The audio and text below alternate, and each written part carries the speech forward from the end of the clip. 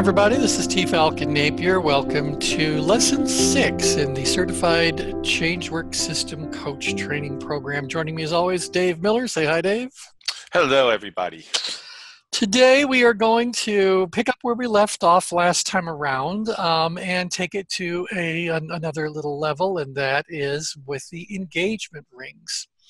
And so hopefully you can all see the screen that I'm uh, showing now. Um, so let's talk a little bit about what we uh, covered last week just to transition into the uh, new material. So um, the change grid can be divided into a great many layers. As you start to use the ChangeWorks system more and more, you'll see that we tend to talk for the most part about uh, only eight of those layers and quite candidly in practical use of the change grid with our clients, we may very well focus on only three layers. Those three layers layers would be first the um, five levels of productive tension.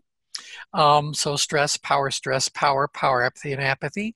And then last time around, we started talking about uh, the, uh, the, the layer, the change grid that divides it into the four different quadrants. And we talked about how you can overlay a great many maps of humanity uh, that talk about uh, dividing uh, all of humanity into four different types. So we talked about these upgrid, outgrid, downgrid, and ingrid quadrants and the different um, uh, changes that take place as we look at someone's attitudes, beliefs, and behaviors in each one of them.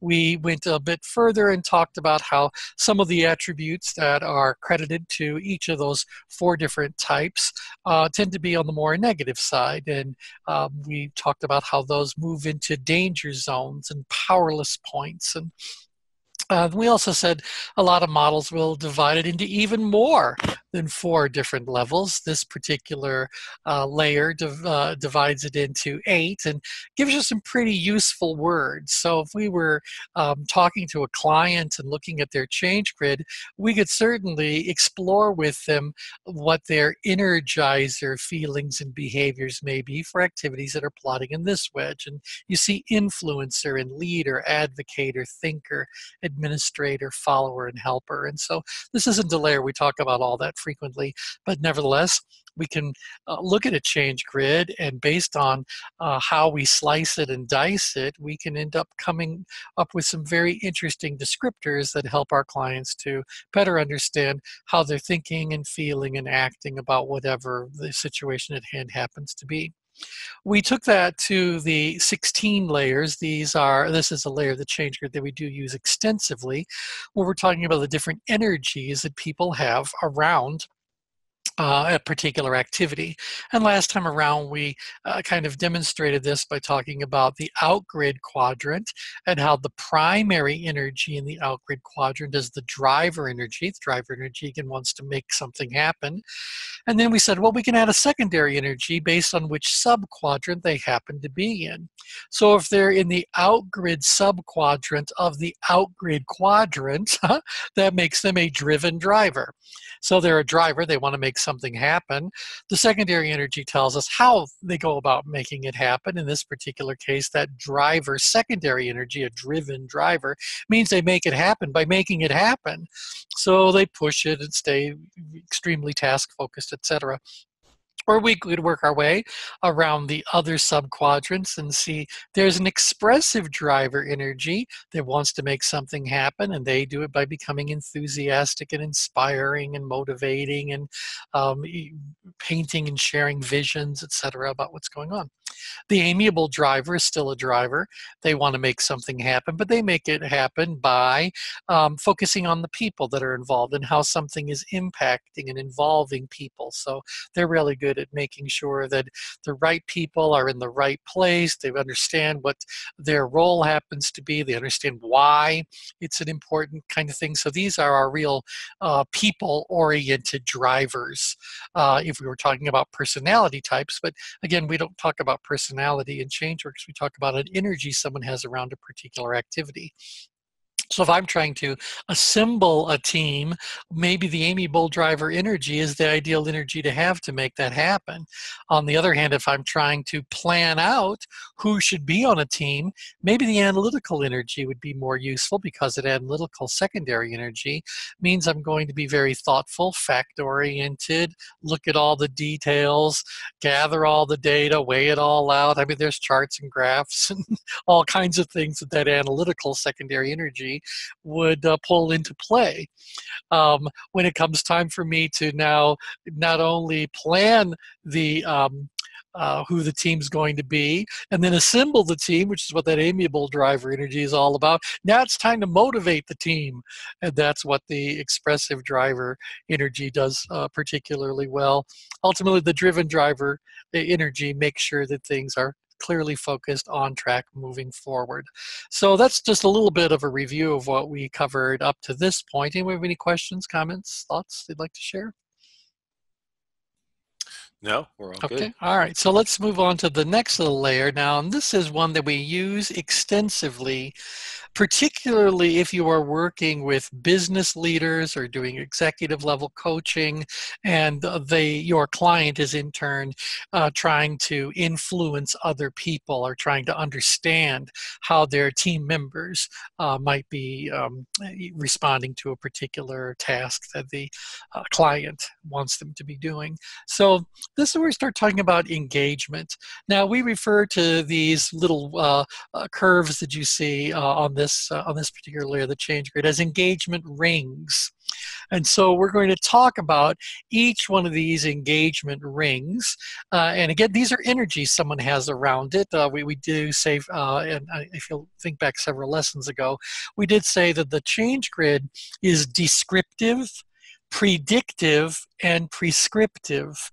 And so when we have the opportunity to share a change grid with a client and use that as the foundation for our work, we can actually describe for them what's going on and help them to uh, you know develop greater insights into about their, their current situation so it describes what's happening.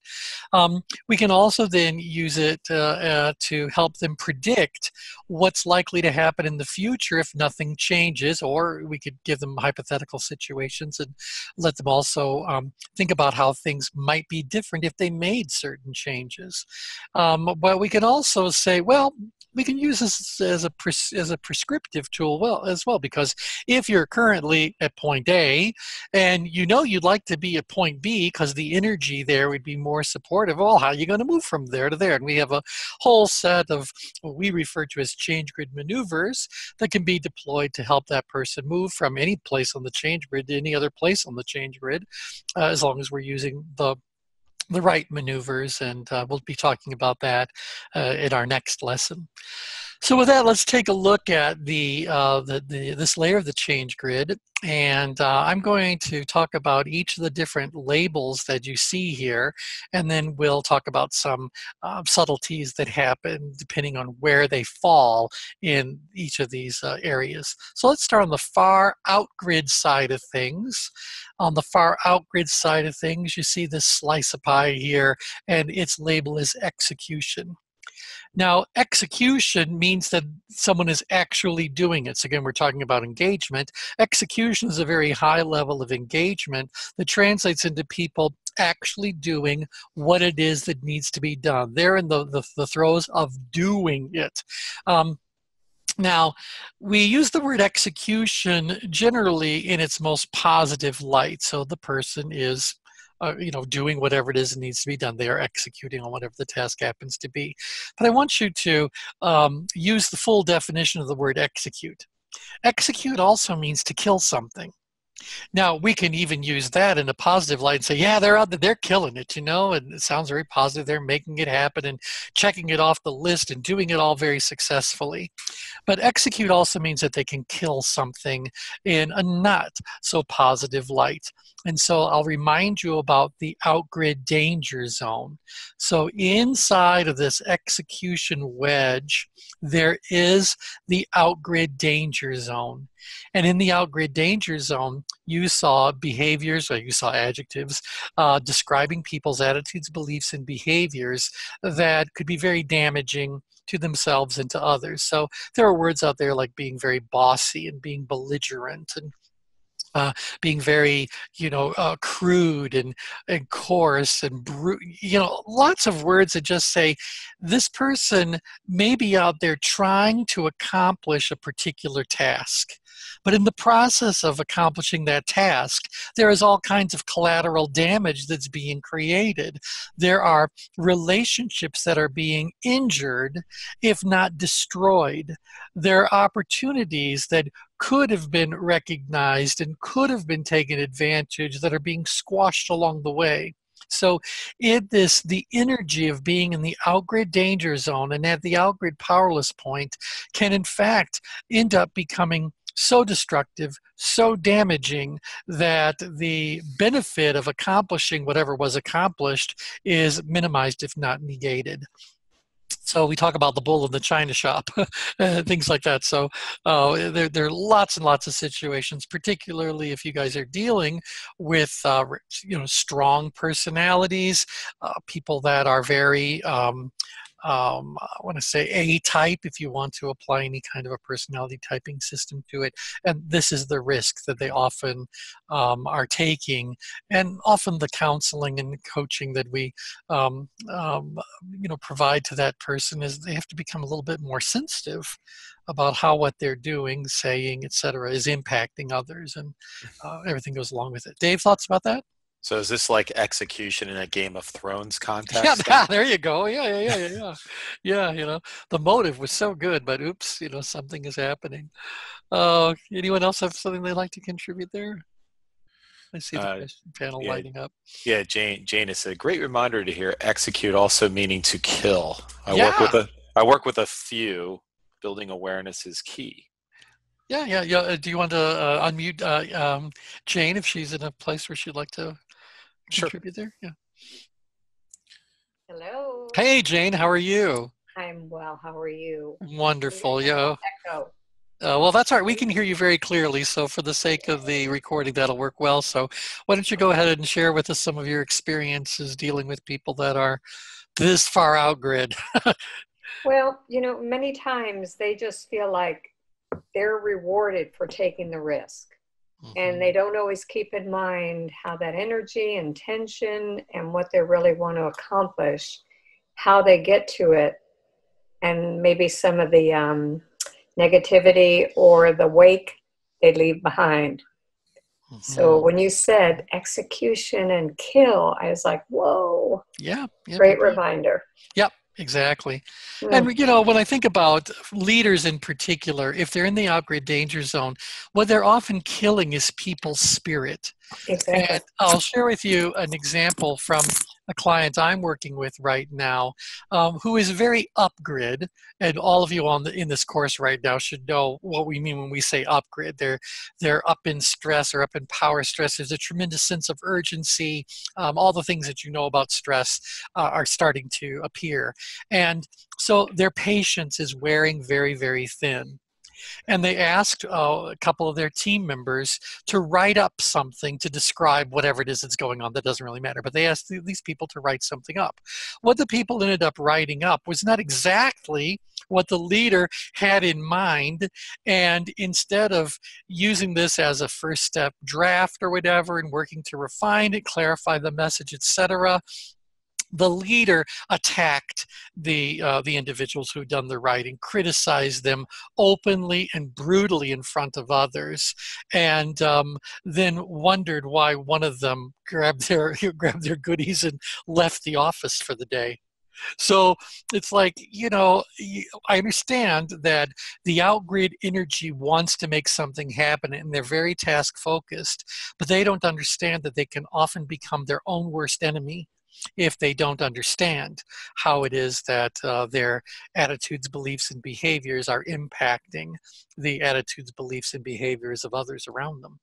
So yeah, it could be a real, real issue. Um, okay, So now execution again is one of these interesting little slices. And if we were looking at a client's change grid and we saw that they had activities that were plotting in this execution kind of wedge, we could certainly engage them in some dialogue and with great confidence say to them, this is something that you're you're actively doing right now. This is something you are actively taking action on. And, uh, you know, tell me about that or whatever. And they'll say to you, that's absolutely right. So um, this is a, a very very, very important thing. So Anne has her hand up. Let's see what Anne would like to contribute. Um, hey, T, just a question. So it, the collateral damage that you're talking about with the execution phase seems, you know, sensible, but it also seems like maybe it's a different word than damage, but it seems like there's the sort of the collateral effects that would go along with all of these phases. Like if I'm stuck in hyper, hyper, hyper awareness, Sure. Is that right? Yeah, and as we work our way through them, we'll talk about the upside and downside about all the different locations. So again, you know, execute does mean we're getting stuff done, and that can be a really wonderful thing.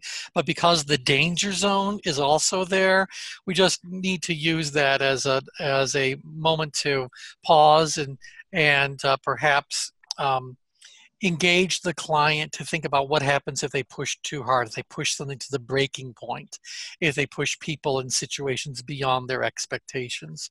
And so that's that's the caution that we're kind of looking at there.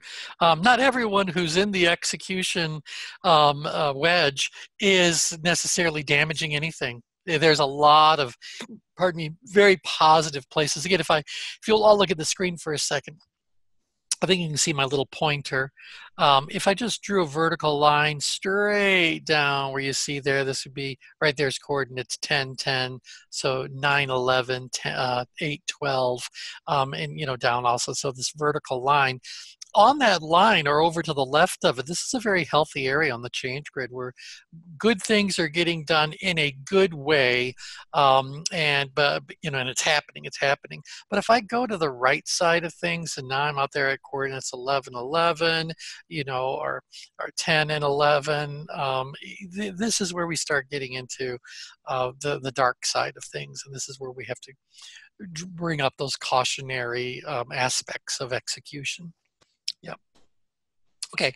Um, in fact, we've often said to the clients, if you have to apologize to your team at the celebration meeting, then we, there's something there to, to explore. You know, we should be celebration should be about celebration. If the celebration is accompanied by an apology for your behavior, I'm glad you're apologizing, but let's see what we can do to uh, try to minimize that happening ever again. You know, T, um, the other thing too to think about, because I've seen this with clients too, when they're really outgrid like that in that execution outgrid danger zone, mm-hmm. is uh, you know their lack of self care as well. Mm, so they mm, tend yeah. to get burned out. They tend to, you know, be, um, yeah. really just driving themselves uh, to exhaustion and, and, so the behaviors end up being an expression of the exhaustion more than a, li- a, lack of care for other people. It's a lack of care for self. And right, this right. Is, this is the collateral damage that's happening to you instead of to somebody else. exactly. exactly. so yeah. So again, execution, great spot on the change grid, but there is a caution that uh, we need to be aware of and uh, and uh, educate the uh, the client around as well, so they just don't step in that far out grid. Now, execution, as I said uh, a short while ago, is uh, is a, a, very advanced level of engagement. So, engagement precedes execution. Until I uh, am engaged in doing a particular activity, I can't begin to execute it. Now, engagement. Um, involves other behaviors than the active uh, the active part of doing it so if i'm actively planning something um, there is engagement happening.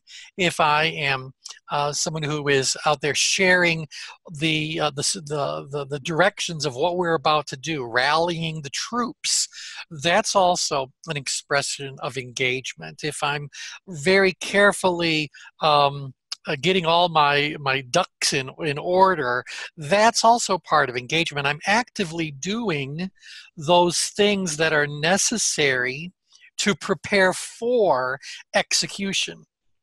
So Um, so uh, again, execution is a form of engagement, but there's a lot of other aspects of engagement that would precede execution. I mean, who would want to, well, it happens, execute, but they did no thought beforehand, no mapping beforehand, no rallying of the troops, no, no conveying of the key message. Hopefully that's not what's happening, although certainly we've uh, seen, seen that in our, in our client work.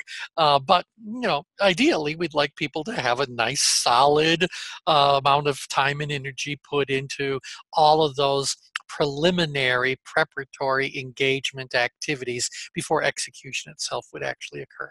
So if they're plotting in this little slice of the change grid, we know that engagement is happening. And after I go through the descriptors, I'm going to come back and talk about the differences between this relative upgrid part of engagement, this relative downgrid part of engagement, and this middle part of engagement, because there are some subtleties there uh, that are quite quite useful to uh, to explore.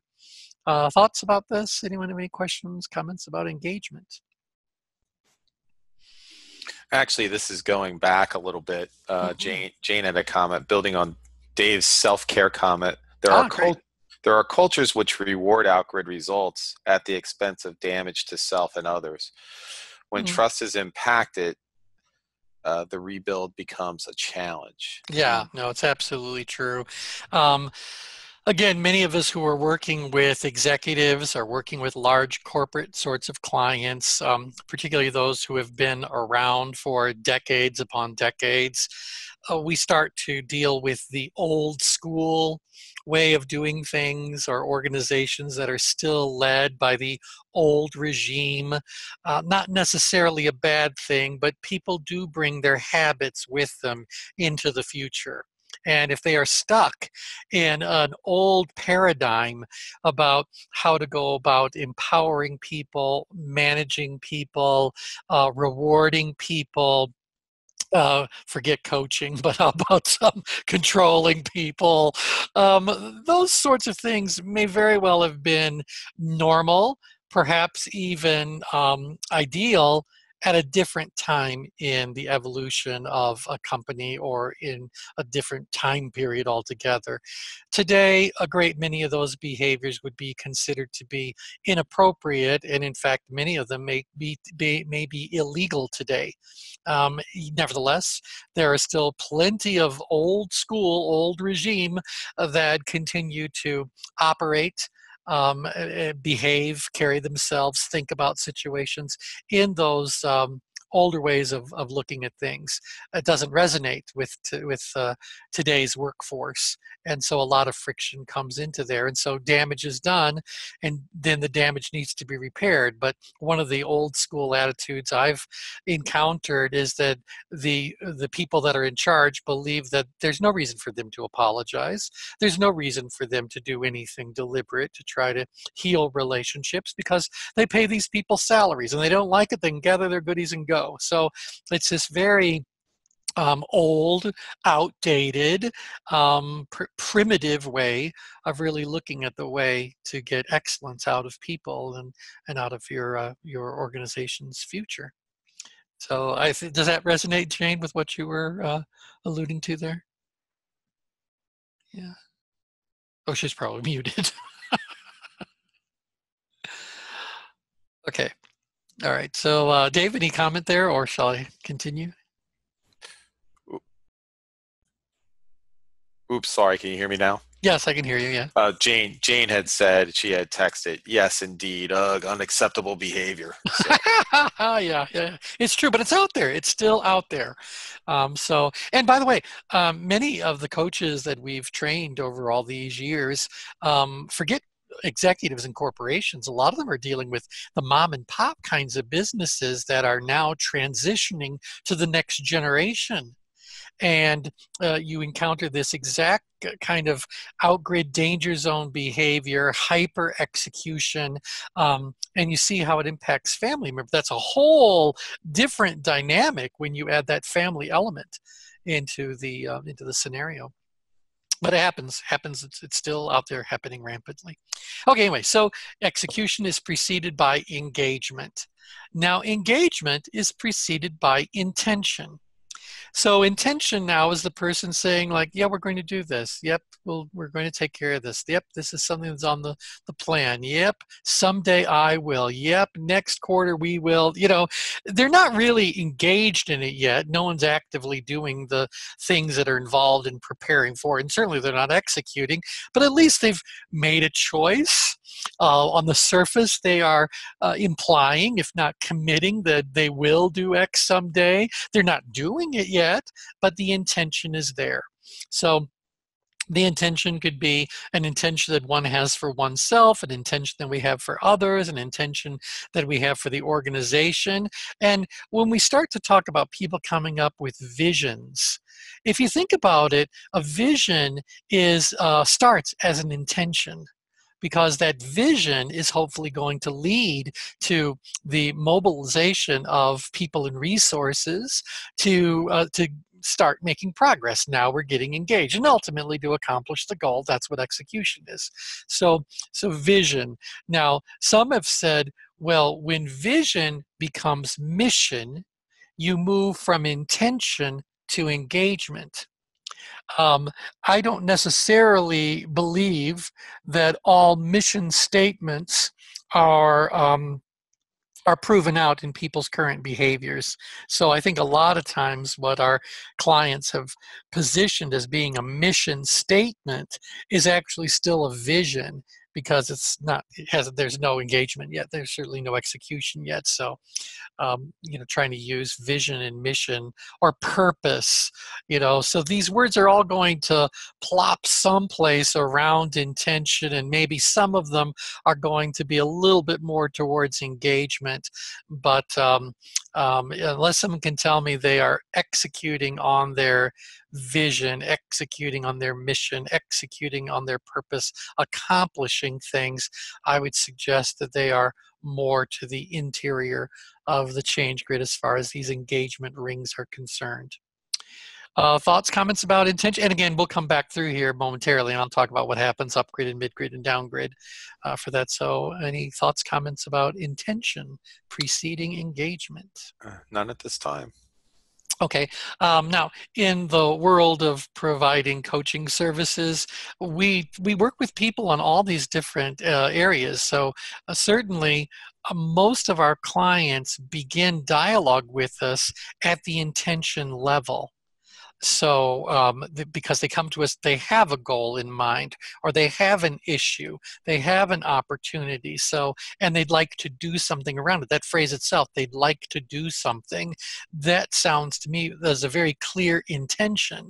They may not know how to do it, so I would very, I would be very surprised if they were actively doing it. Or maybe they had the intention, they tried something, so they dabbled in engagement, but what they tried wasn't really successful their intention has not changed, but their form of engagement or their approach to engagement, their steps toward engagement and inside of engagement need to be uh, worked through. So, uh, nevertheless, the intention is there. Now, um, intention is preceded by awareness. So, until I am, an, I am aware of something, how can I begin to formulate a, a, conscious, deliberate intention around it? So I became aware of something. I became aware of an opportunity. I became aware of a challenge. I became aware of whatever.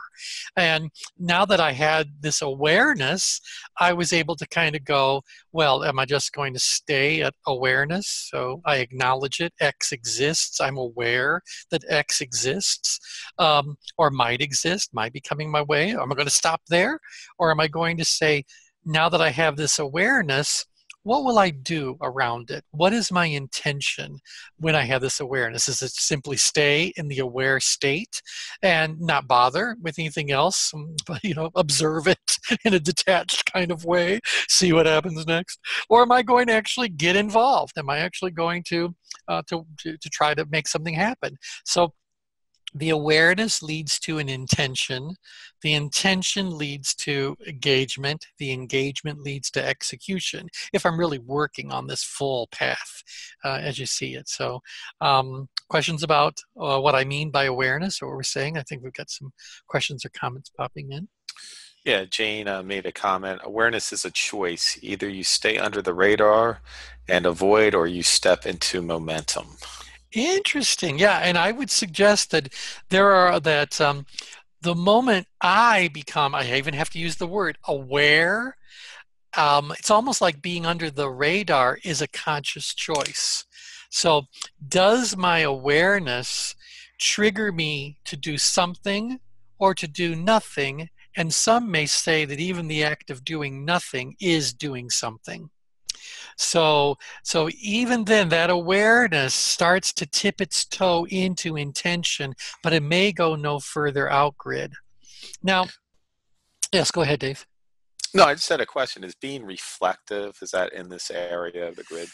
Well, right. The, the reflective part, well, I'll, I'll throw it to you. When you say being reflective, what is the person actually doing? Uh, I think, you know, being aware of the situation and maybe mm-hmm. thinking through how it affects them, maybe how it affects others. Mm. maybe it mm-hmm. starts getting into action or what what it might could. we do with it so. right it could but i could also just say i am aware i'm mm-hmm. aware of x is happening i'm aware of how it impacts other people i am aware of what possibilities there may be but I myself am not making any kind of uh, emotional connection to it, or any sort. There, there is no no drive as we move further outward. What's actually happening is drive is increasing. So mm-hmm. I don't feel driven. Remember, the out grid quadrant is driver energy. I'm in awareness, but I don't have any driver energy around doing anything with that awareness. Um, so, so you are you kind of just being with it? Is that just being with it? Well, in fact, the exact center of the change grid, the PowerPoint right here, coordinate six six, is sitting in awareness. And some of the hallmarks of being in the center of the change grid is this awareness of what's going on. So um, you are in the world, but not of it. You let the winds of heaven dance around you. So you're observing it, fully aware of what's going on, but you are not necessarily well, in fact, I'll say while you're in the awareness mode, you are not participating with it in any outward, physical, emotional, or intellectual way. Uh, so the awareness is an internal state um, that uh, may be focused upon external um, activities, events, but I'm still just staying detached. I'm right there, coordinate 6 6. But there's a place of choice. And that's what I think is so powerful about awareness.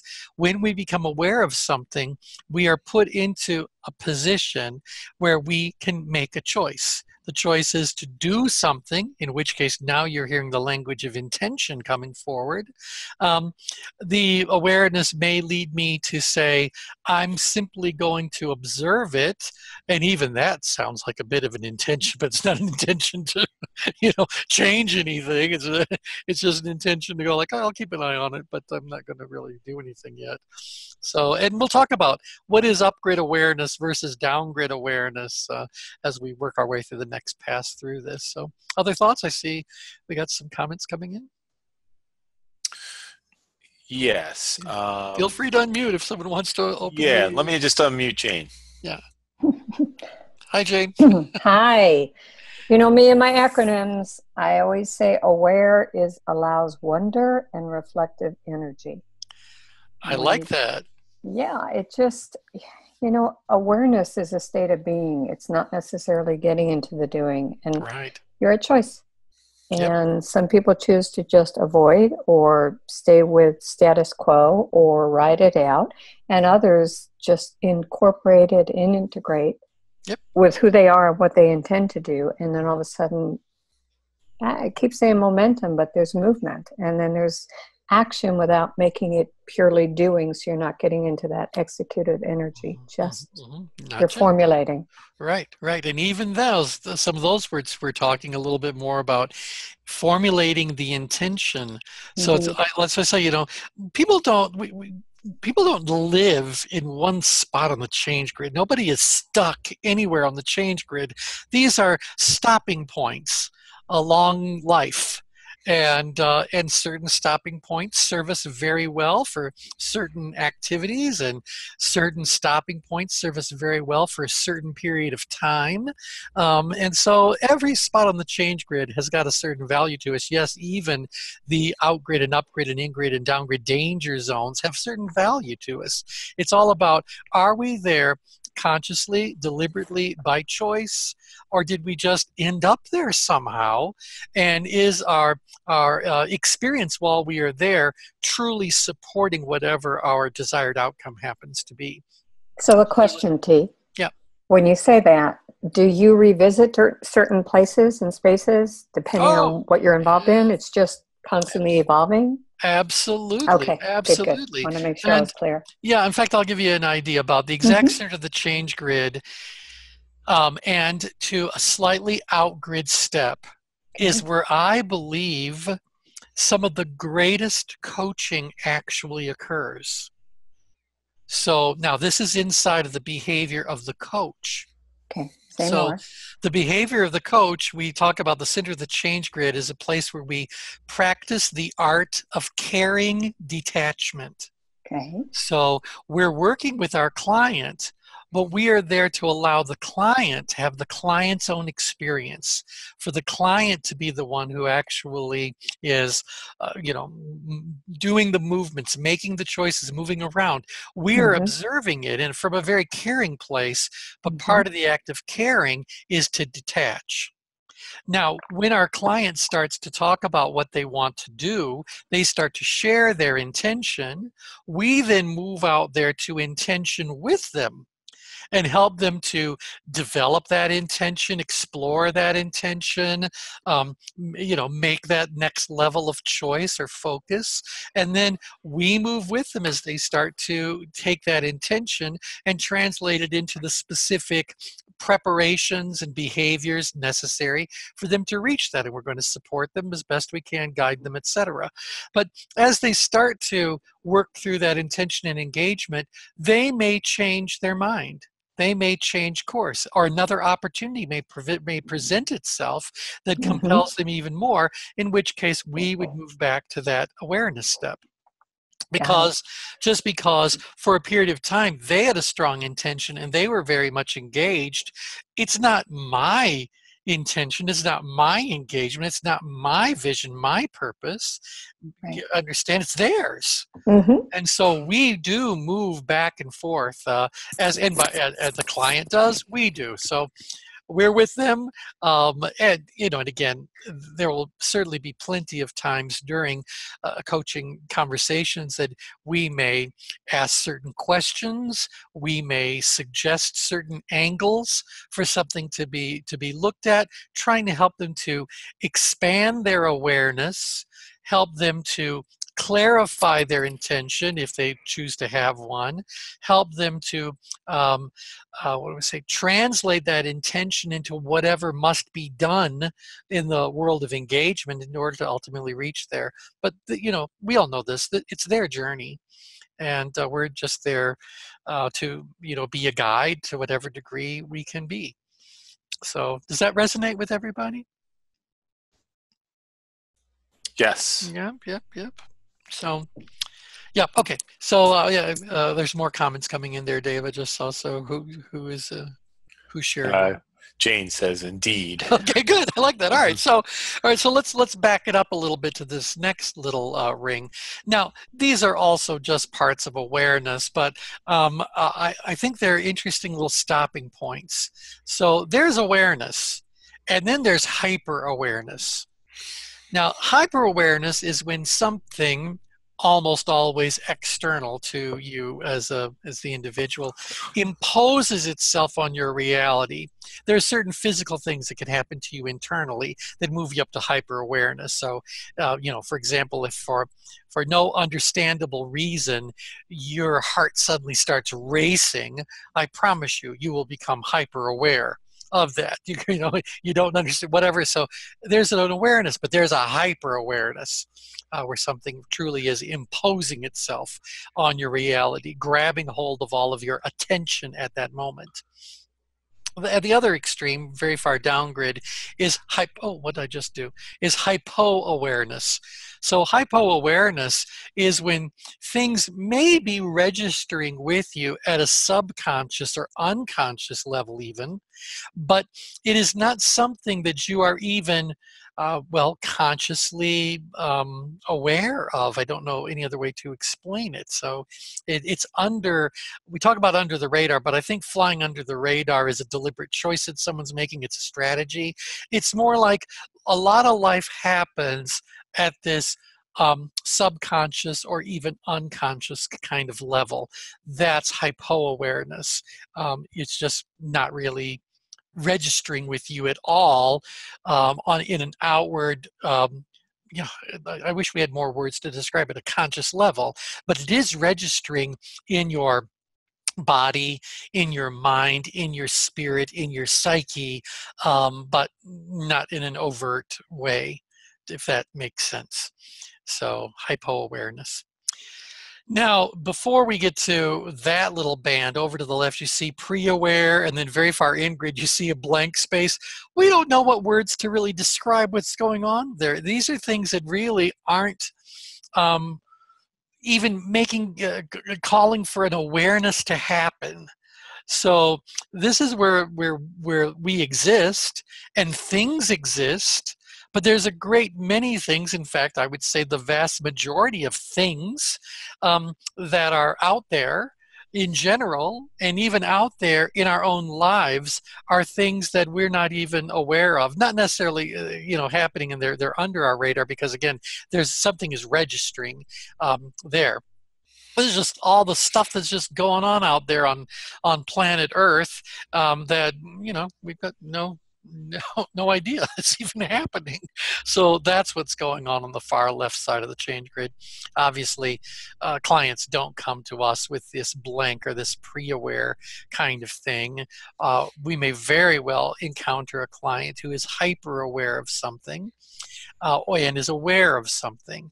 Um, we may, in the work that we're doing, help some of these things that are currently in hypo awareness come to the surface more. Um, and so move more into awareness so that the person can explore it or whatever. So, generally, the work that we're doing with the client uh, is going to be in this awareness, intention, engagement, execution. Uh, but what may begin the relationship is hyper awareness and what we may help to awaken is the stuff that's down in hypo awareness. Um, okay, thoughts about that? I saw a comment uh, occur. Um, I have a question. Yeah. So when we look at um, something in grid, um, and we've often talked about the example you're on vacation and someone's playing a card game you've never played before, mm. and you might have feel you have ability of a three and maybe the challenge is a three like how hard could it be? Yeah. Yep yep, yep. so that would that would fall in that pre-aware engagement but yeah because yeah because it really hadn't happened in your life up until that point in time. It's oh, okay.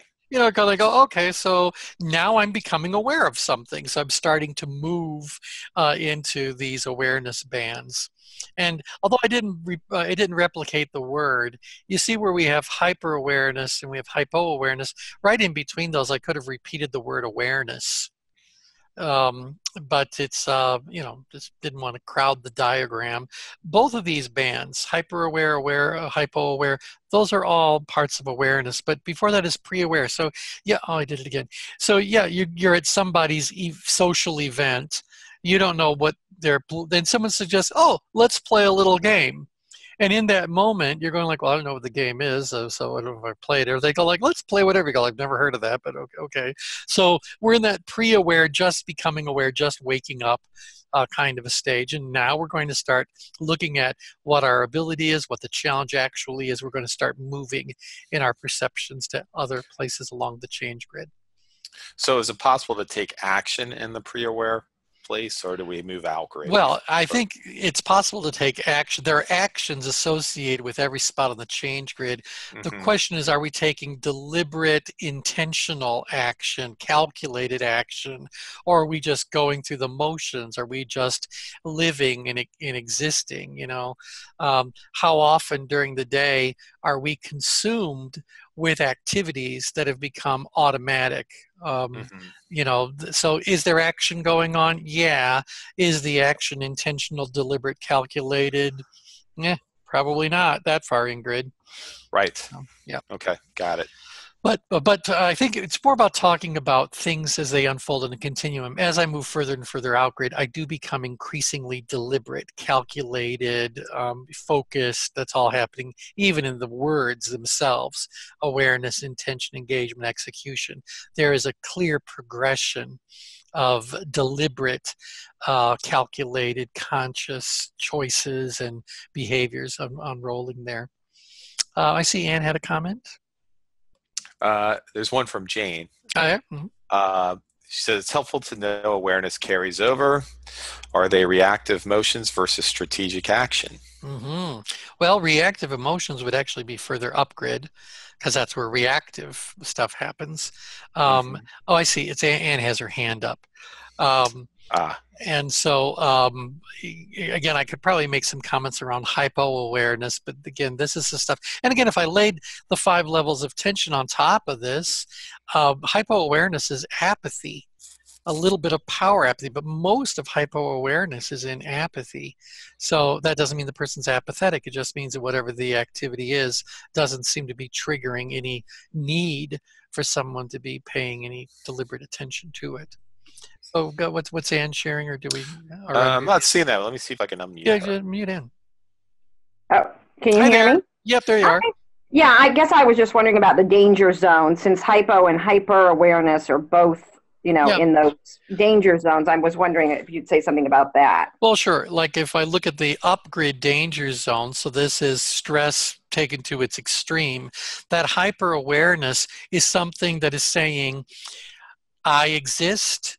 You know I exist." You are to think about nothing other than this in this particular moment. So I promise you, if in the middle of the night your house catches on fire, hyper awareness is going to occur. And in the upgrid danger zone of, of, uh, of the, the change grid, which is where that those S's of hyper awareness of are, are, are sitting, you might become very reactive, start doing strange things. In fact, someone brought some a very interesting thing up to us. Um, our front door of our house locks from the inside with a key. And so at night we lock it and we take the key out and we set the key over on the table on the side. Uh, it's because the door is glass, and the thought is that if someone breaks the glass, they could get in and you know open the latch. So it locks with a key. Well, when we had someone who's connected with the fire department come in and do, just do a little safety evaluation they said that's a profoundly dangerous situation because in the midst of a fire, the chances of you forgetting where is this key, stumbling to find the key, get the key to fit into the, the thing, all of these thoughts and actions are compromised because of the uh, that life or death kind of situation that is threatening you at that particular point in time. So hyper awareness can move you all the way up into the um, um, the upgrid danger zone and all those things we saw up there in the upgrid danger zone about being profoundly impulsive, terrified, etc. All that could definitely happen. By the way, their answer was leave the key in the lock, and so you know just make sure you leave it there. Um, and that's you know just one of the risks that you have. They said from a safety perspective you would hear the glass break. The glass is three quarters of an inch thick. So uh, you know so at any rate um, uh, yeah and then uh, hypo awareness again we look Well, at the by the way, T, I, I must say you have the coolest front door I've ever seen. well thank you. Yeah we love it. It's Um, what bronze or something like it's that. yeah it's cast bronze and uh, it's uh, it's it's a it's, it's a you know it's a very nice door. We designed every curve of it or whatever which by the way was the other point.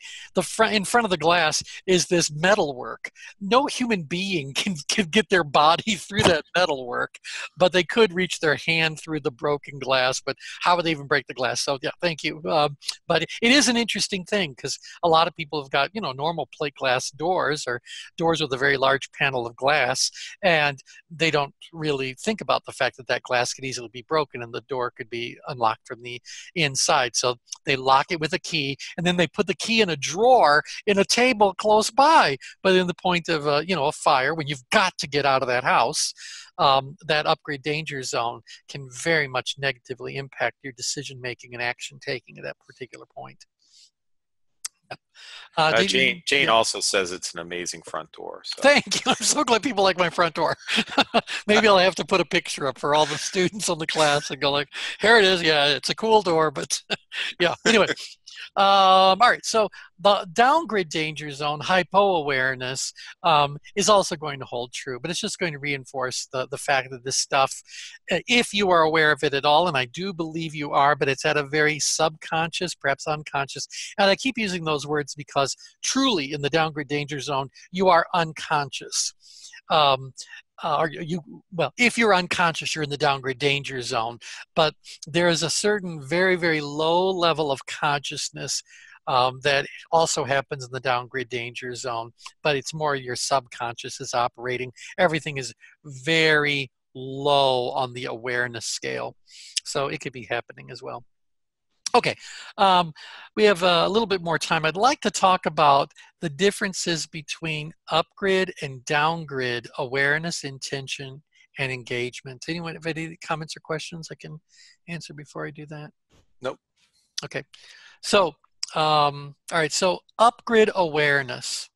To understand upgrid awareness, recognize that that upgrid part of awareness is a little bit of, is, of it is in stress, but most of it is in power stress.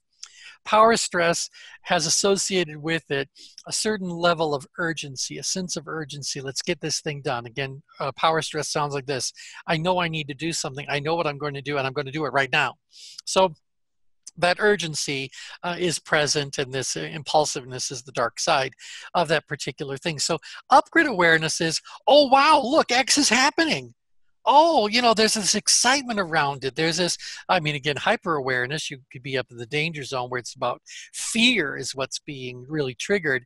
This is more about excitement and anticipation. Uh, this is, wow, look, X is happening. This is really, really cool. Really, really cool. And we do experience moments like that uh, where, well, like for example, recently I discovered that one of my favorite musical groups was doing a concert here in Phoenix. And so I went, oh my gosh, how many days before it's like, I was suddenly up there in hyper awareness. They're here.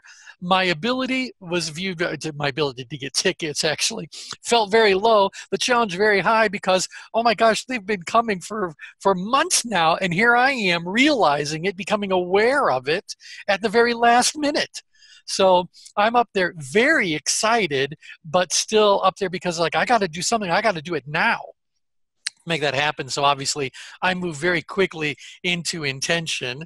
And as I started to explore the ticket situation, I ended up fully engaged and I ended up buying the tickets, which, by the way, were in the exact center of the whole audience. And this was for the group Pentatonix. I love Pentatonix. And so there it is in the exact center. Couldn't have hoped for better uh, better seats. And there I was. So, so you know, the, the divine was ready for me to, to get what what uh, what I wanted there. Um, any comments, thoughts? I see there's some comments popping in there. Oh, Jane was just asking which music group. And yeah, yeah, Penta- I love Pentatonix. She said uh, great music. So. yeah, um, if you haven't seen them, don't know about them, look up Pentatonix. And if they're ever doing a Christmas concert in your area, their Christmas music is among their absolute best stuff. Anyway, now then, at the other end of things, we have downgrid awareness. Downgrid awareness is a little bit in apathy, mostly in power apathy.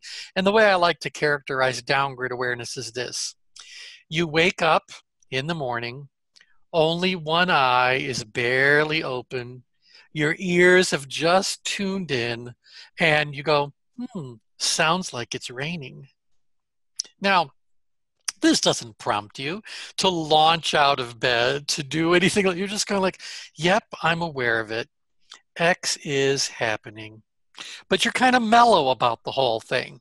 So you are aware of it, uh, but it's not demanding any immediate attention. There's no real tension about it. You're down grid, down in power apathy. And so I'm aware of it, but it doesn't seem to be demanding any attention right now.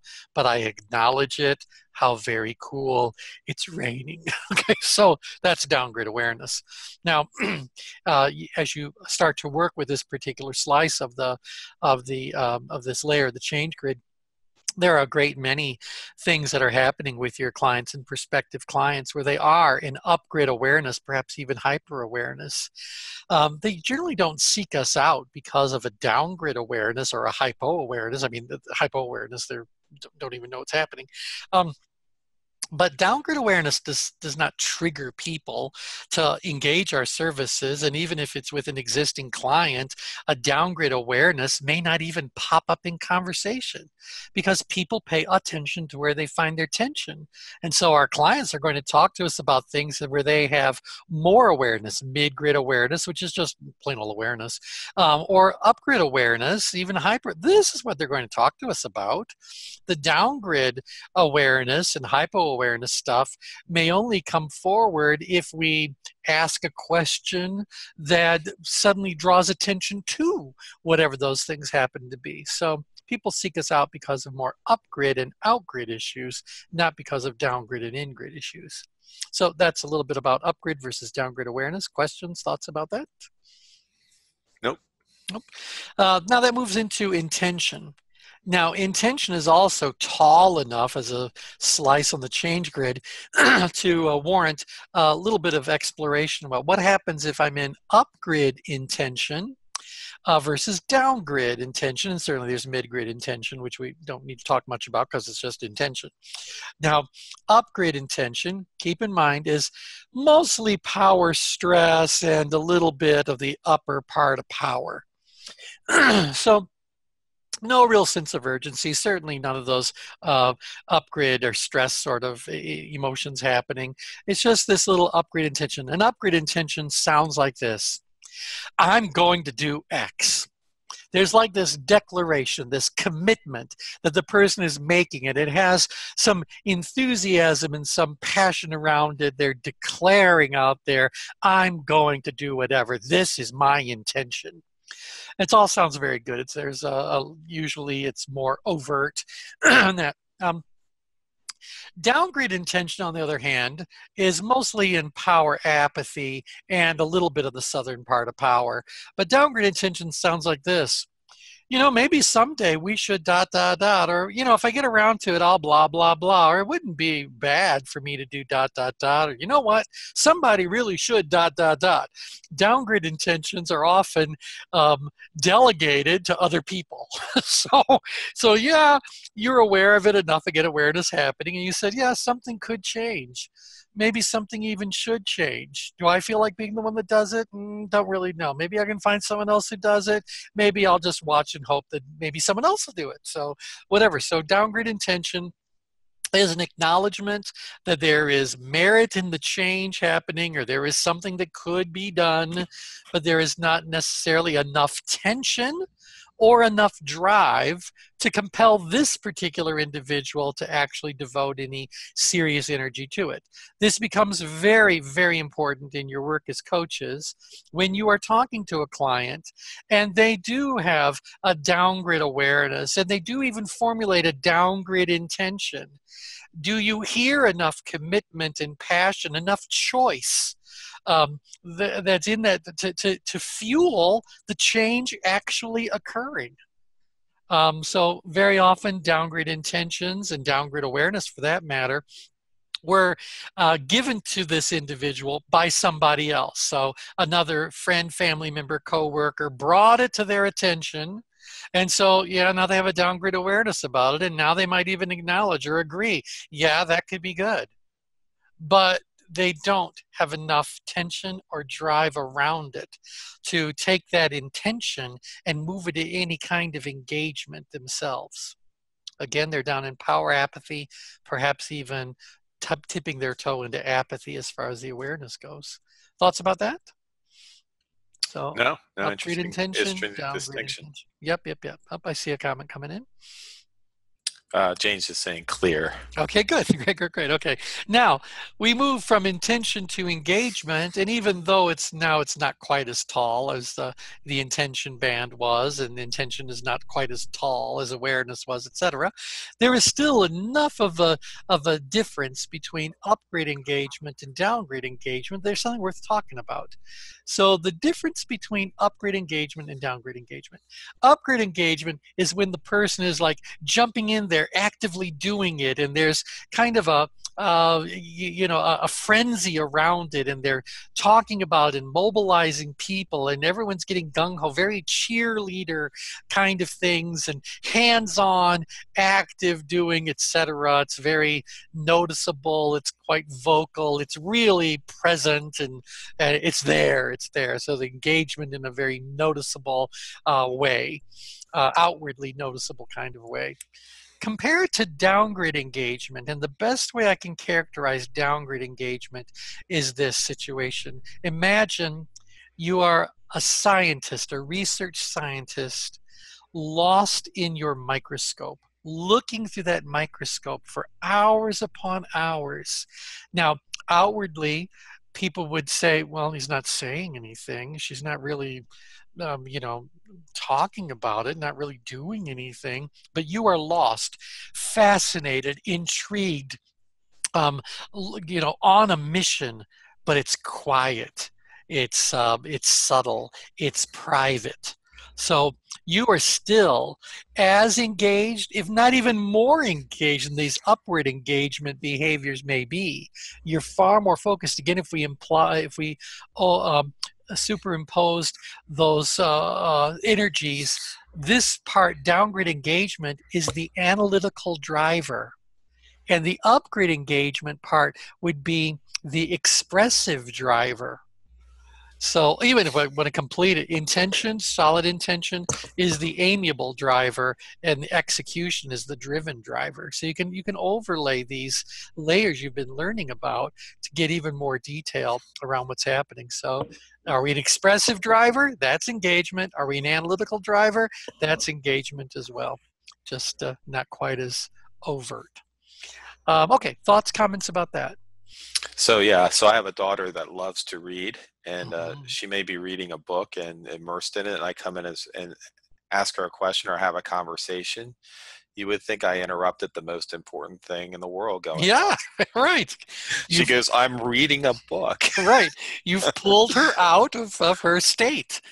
Right. And uh, she was deeply, deeply engaged uh, in whatever was going on. But because it's not overt, we don't really um, notice it all that much. That's right. Right. But had she been, you know, on the sports field in the middle of a play or whatever, you probably would not have asked her a question. exactly. You know? So there you go. There you go. Um, all right. Now, again, applying this to uh, coaching work. Um, we have to ask where does the conversation begin? And so, just to recap, and as I do this, I want you guys to think about the clients you've actually worked with and how those conversations began, how those conversations evolved. In all likelihood, you came to be in conversation because the client had something that they were either hyper aware about, demanding immediate attention, or fully aware, even upgrid awareness. So I know it's happening. Um, I want to do something about it. You know, so you even start hearing the intention. So, so this is what normally happens: is that someone who is in a relative upgrid state of hyper awareness or awareness, and that now leads them to engage in dialogue. As you begin to work with them, what you're doing is clarifying, crystallizing the awareness parts of it, and then allowing that awareness to now move into intention. Now, it may move into an upgrid intention where they want to commit themselves in a very robust kind of way. It may be a very mid grid intention where they are simply moving to the next logical step and saying, This is the plan, this is what I, I want to do, whatever it is. They may, though, move into downgrid intention. So the awareness is now led them to power apathy, even apathy, where they go like, yeah, that is something that might be good maybe someday, you know, whatever. So hopefully you are hearing in that moment that their level of enthusiasm, their level of productive tension has diminished. And that could be just fine but uh, be aware of, the, the, the, movement that's happened on the change grid, even in those few words. Um, so when that happens, uh, obviously you're probably going to ask a few questions just to see if they really are just like no longer interested in that pursuit. Uh, great, and so move on to whatever's next, or see if those questions uh, more you know reactivate them, uh, move their intention more up grid. Now, that intention as you work with them, um, if they're on the course of, of reaching the outcome, it'll lead to engagement. And that engagement is about some planning that needs to happen, which is that downgrid kind of engagement. There is some preparation that may may need to occur, gathering your goodies, you know, getting everything all all uh, assembled. Um, and then there's also that idea about rallying the troops, even if, if it's a troop of one. Um, there's this rallying that happens. All that's engagement, and there you are to help that individual to um, you know, map that all out and uh, support them as they go about doing all these different aspects of engagement. Even if they move to downgrid engagement from intention, that's fine because downgrid engagement is still engagement. They're actively doing it, but it may be more on that like, analytical side of things, the planning and, and assessing, scoping, etc. Um, yeah, so thoughts about the, about intention or engagement movement with clients. No. Nope, it's all still good. Work's all happening. Clear.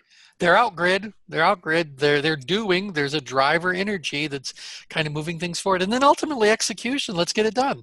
Let's finish it. And so you might be working them with them more now about accountability and uh, that sort of thing that's, that's happening there to get to execution. But always be aware that as they go about putting that that engagement into its final action steps actually doing it that they don't step into the outgrid danger zone and end up hurting um, themselves or others in one way shape or form so, uh, so that's what it's really all about. So our work, I think, is as uh, coaches actually occurs. If you can see where I'm kind of circling around there now, this is where we really are.